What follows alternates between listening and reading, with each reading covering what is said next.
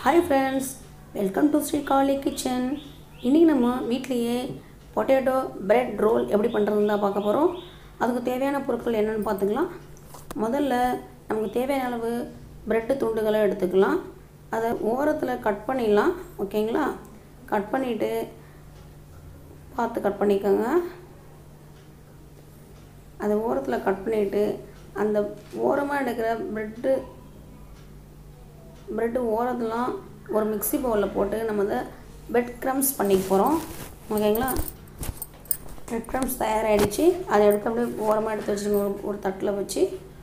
இப்போது அதுக்கு உள்ளே வச்சுக்கிற ஸ்டஃபிங் பண்ண போகிறோம் அதுக்கு ரெண்டு பெரிய உருளைக்கிழங்கு வேக வச்சு ம மசிச்சு மசிச்சுக்கோங்க.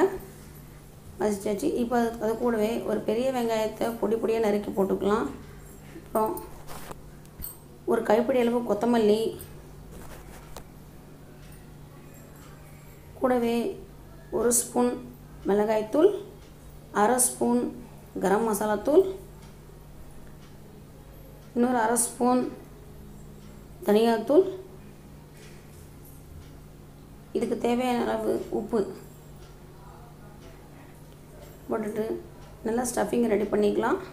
நல்லா பிசைஞ்சு தண்ணி ஊற்றாமல் நல்லா அந்த உருளைக்கிழங்குல ஈரப்பதத்தோடு போட்டு பிசைங்க. இந்த அளவுக்கு வரும்.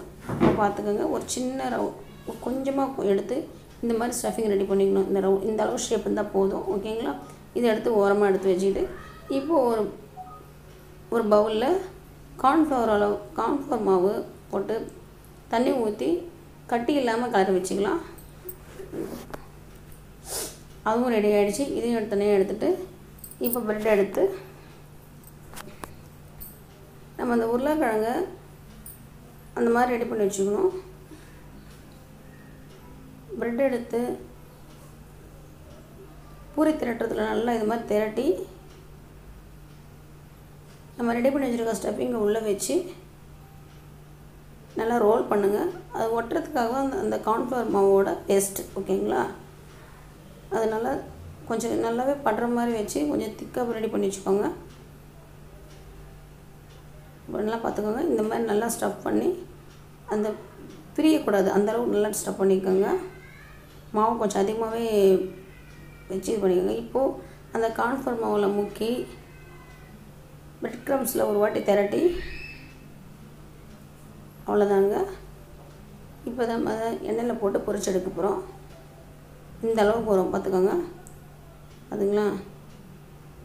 எண்ணெயில் வச்சு பொரித்து ரெண்டு பக்கமும் நல்ல பொன்னிறமாக வர அளவுக்கு. இந்த அளவுக்கு.